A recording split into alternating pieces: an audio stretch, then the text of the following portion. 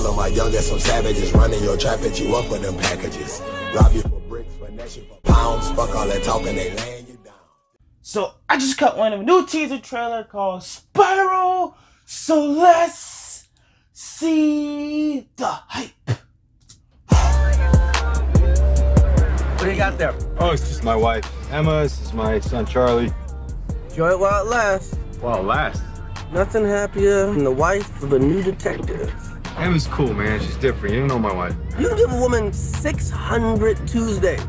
It ain't worth three Saturday nights. How much money you got? A lot. How many problems you got? A lot. How many people that doubted a lot? All available you units, right. officer How many down. Pray that you flop. Detective Banks en route. Twisted pictures.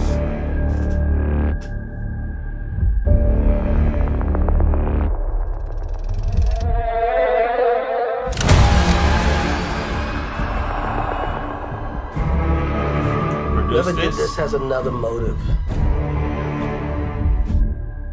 They're targeting cops. Hey, wait a minute. Yo, This shit's gonna go sideways fast. boy, Samuel? Hold on. Yo, Someone's out there pulling all the strings. a new chapter.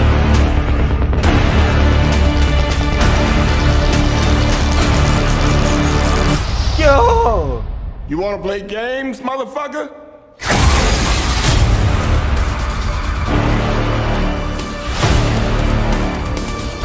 from the Book of Saw.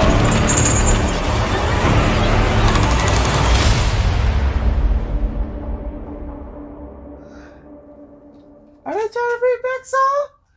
Oh snap! Chris picked up something. Tried to do a key, continue, uh, ah, continuation with Saw.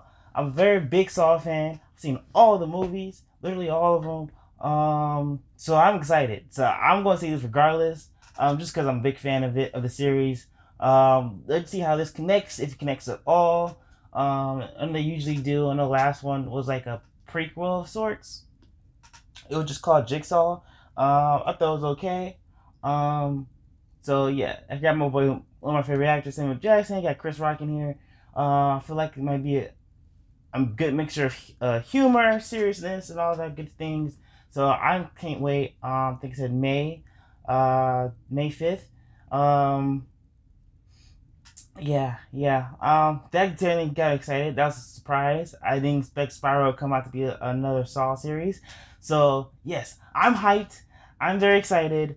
Um, yes, yes. Uh, if you like my reaction, give me a like. You see more me, subscribe to my channel, and I'll see you guys next time.